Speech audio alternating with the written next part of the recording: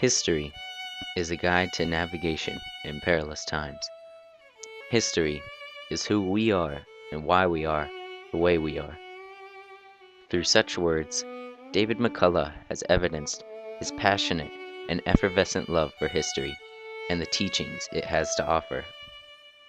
However, this deep seated love perhaps most clearly manifests itself through McCullough's dedicated and inspirational writing in his novel Brave Companions. In this book, McCullough explores a vast array of historically revolutionary characters whose names have somehow managed to slip into an unrecognizable state over time. From Alexander von Humboldt, the epic explorer of South America, to Harriet Beecher Stowe, the critical author of Uncle Tom's Cabin, to Harry Caudill, the Kentucky lawyer who opened up America's eyes to the tragedy of Appalachia, to David Plowden, a current day photographer of fading America. McCullough takes on a seemingly unrelated group of individuals, only to show that each subject has in common a rare vitality and sense of purpose. These are brave companions to each other, to David McCullough, and to the reader. For with rare storytelling ability, McCullough brings us into the times they knew and their very uncommon lives. In Brave Companions, McCullough celebrates the human quest above materialistic achievement, placing curiosity and purpose in the highest regard. He admires the attempts of these personalities to preserve innate aspects of American civilization before they vanish. Through each brave companion, McCullough illustrates striking and radical achievements in the realms of science, art, technology, and social standards in an attempt to clearly demonstrate the necessity of history to understand ourselves and gain an appreciation for our current lives. McCullough organizes the book into a short introduction, followed by 17 relatively short essays. McCullough uses the introduction in order to explain his early life aspirations to be a painter and the overall importance of history. He organizes the remaining essays into five broad sections. The first division, entitled Phenomena, features the groundbreaking tales of Alexander von Humboldt's geological conquests, scientist and educator Louis Agassiz, and a biographical portrait of Harriet Beecher Stowe, the author of the novel Uncle Tom's Cabin. Part 2, The Real West, chronicles the tales of Medora, North Dakota, and Western artist Frederic Remington. In Part 3, Pioneers, McCullough tells the fascinating accounts in which the Panama Canal and Brooklyn Bridge were built, while also recounting the experiences of early aviators, including the Lindberghs and Antoine de Saint Exupéry. Part 4 profiles individuals McCullough is personally acquainted with including author Conrad Richter, activist Harry M. Caudill, entomologist Miriam Rothschild, and photographer David Plowden. Concluding in Part 5, On We Go, McCullough reflects on the legacy of history and encourages Americans to study history. By dividing the portraits into five distinct but very much interconnected categories, McCullough sequentially elaborates on all aspects of his thesis the human quest, relationship with nature, courage, progress, and preserving the past.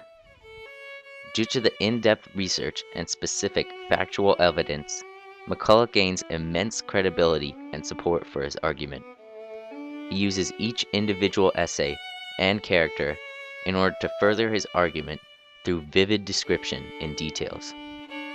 In the chapter entitled Journey to the Top of the World, McCullough draws the reader's attention to the historical adventures of Alexander von Humboldt.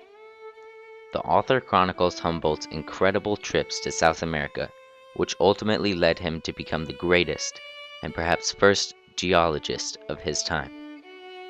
Trekking through the Amazon, sailing the Orinoco River, and climbing the active volcano Chimborazo, yielded thousands of samples never before seen to Americans and Europeans alike. This geological triumph serves to wholly embody McCullough's intended goals of progress as well as a close relationship with nature. McCullough also attempts to portray the brave companions as courageous, free spirited role models to the readers. When describing the experiences of many early aviators, McCullough includes the example of Charles Lindbergh, the first individual to fly the Atlantic, in an attempt to portray the fantastic successes that accompany a courageous spirit. McCullough also champions the literary powers of these pioneer airplane pilots, again including Charles and Anne Lindbergh. Rising above to new heights as no man or woman had ever done before, these brave souls shared a technological and scientific love with a profound respect for nature's beauty. McCullough writes, With the advance of the airplane, they were sure the old barriers of time and distance would give way bringing humanity closer together. That they would also share a common crisis in such faith is also part of their story. Likewise, McCullough also uses the example of Harry Caudill to further his claim. As an outspoken naturalist and political activist, Caudill vehemently opposed strip mining operations in eastern Kentucky. The passionate argument put forth by Caudill causes him to join Lindbergh in asserting that the short-term benefits of technology do not outweigh the resulting environmental destruction. McCullough delineates progress and bravery through a former world-famous naturalist, Miriam Rothschild. Orphaned at the age of 15 and later the mother of six children, Rothschild never failed to blossom her innate love for naturalism. She fervently supported the motto, I must say, I find everything interesting. During World War II, Rothschild was a fiery opponent of the war, upholding the principle that progress stems from discovery and study, not diabolical warships and missiles. As evidenced by the stories of Lindbergh, Caudill, and Rothschild, mankind realizes that unwavering courage facilitates recognition, and that true progress is attained by revering nature and the sanctity of human life. McCullough, in coordination with the historical recounting of certain individuals, utilizes personal accounts to further his book through the use of primary evidence. In the section entitled Figures in a Landscape, McCullough acknowledges a select group of individuals and shares his personal encounters with said characters. The remarkable stories of Conrad Richter, David Plowden, Caudill, and Rothschild give full effort to McCullough's cause by providing irrefutable and in-depth personal accounts to illustrate the true genius of these individuals. Despite the variety of their interests and accomplishments, the characters portrayed in Brave Companions in fact held many similarities.